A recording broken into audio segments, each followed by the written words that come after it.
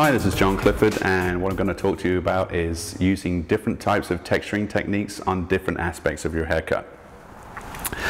Obviously there's many different lengths of haircut and I wanted to go through some techniques we can use on longer hair as well as some techniques we can use on shorter hair and the different kind of results that you'll get from each one. So next we're going to be going straight to the mannequin and we'll have a look at some techniques. So I'm just going to show you a few techniques that I like to use on long hair first of all and then describe how they can be used on shorter hair as well. If we want to remove layers from the outside of the hair only, we're going to go in with a very flat blade and slowly take our hair out.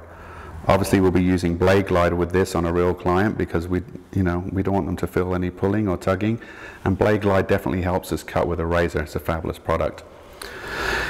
Anyway, if we wanted to put more texture just in the ends of the hair, we're going to hold the ends, go in with our razor, and slightly change the angle and just texturize the end of the hair.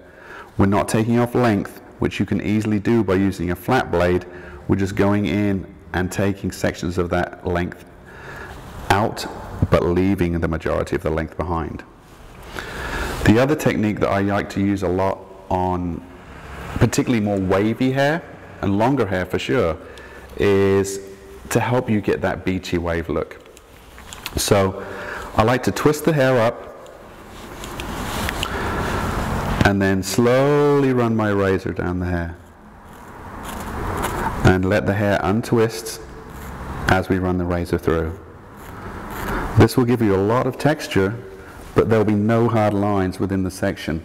It's going to be very, very soft and subtle.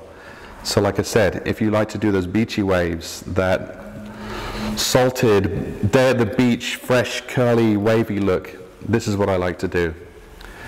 There are many products that help you do that, but a lot of people don't have the hair that's conducive for that kind of look.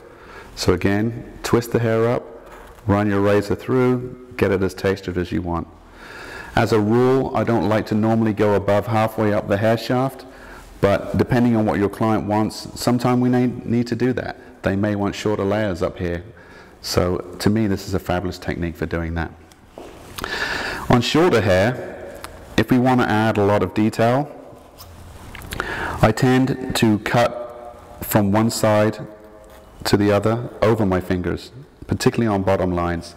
Um, say an asymmetrical bob or something like that, where we're trying to get somewhat of a solid line but slightly broken up. I will hold my hair flat and cut from side to the front. This will give me a clean line, but not a blunt line like shears. The other technique I use a lot on shorter hair is if we're going through the bangs. And this is just in, cut, break up any weight that you want to get rid of. But again, this is going to be in the bang fringe area, and it helps you see through and get balance of the overall shape of the haircut. So I want you to try some of these techniques out. Use your Jatai razors. Definitely play with it. Try everything out on a mannequin before you try it on real people. And definitely, before you try it on your client, get some blade glide because that's going to make your life a whole lot easier. So good luck, and I wish you success with your razor cutting.